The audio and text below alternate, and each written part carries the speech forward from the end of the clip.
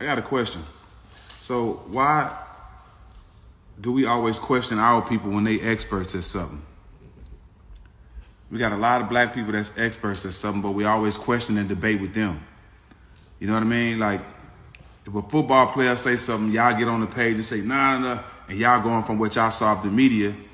He know from experience, from actually being there. You'll, you'll debate with a basketball player after he say something like you actually know, but you never been in the locker room or nothing to know that what's the truth. But he's been in the locker room for multiple years, know exactly what go on, but you want to debate with him like you know.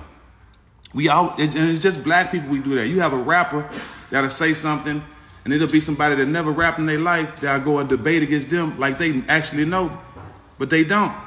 But y'all go to doctors, to these white doctors, and just let them operate on y'all and do everything. Don't ask them no questions.